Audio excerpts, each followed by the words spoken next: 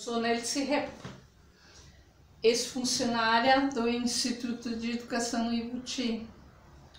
Hoje sou aposentada, moro em Dois Irmãos e além de fazer os meus trabalhos de casa, eu leio bastante e faço trabalhos manuais.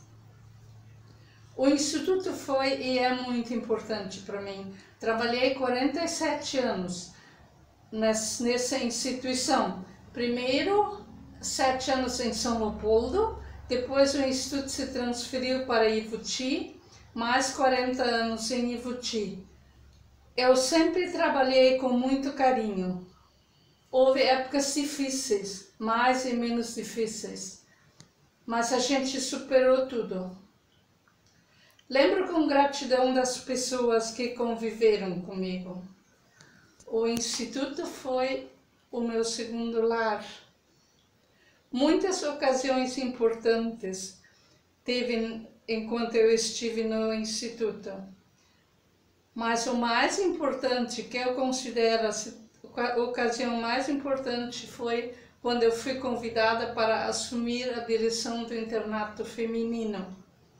Tínhamos na época 106 moças das quais eu cuidava. Fiz isso durante 21 anos. Gostei do meu trabalho, tive muitos, muitas e boas experiências, aprendi muito no convívio com os outros. Muitas pessoas, tanto professores, funcionários e alunos, foram importantes para mim.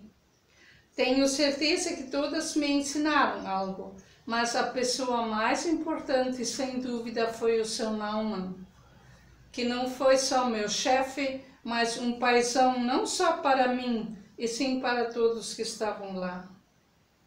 Eu vim para o instituto para trabalhar e estudar à noite, e foi o que fiz. Primeiro, eu ia na Escola Santa Catarina em São Leopoldo, e depois, quando a escola veio, quando o instituto se mudou para Ivuti, eu pegava o ônibus à noite e ia a Novo Hamburgo. estudei no São Luís, Colégio de Padres, à noite. Sempre gostei do meu trabalho. A Páscoa é muito significativa. Também naquela época foi muito significativa. Nós nos reuníamos no refeitório e primeiro o pastor fazia uma mensagem e depois nós cantávamos ao som dos violinos. O professor Benck sempre dava um jeito de conseguir um grupo para nos acompanhar.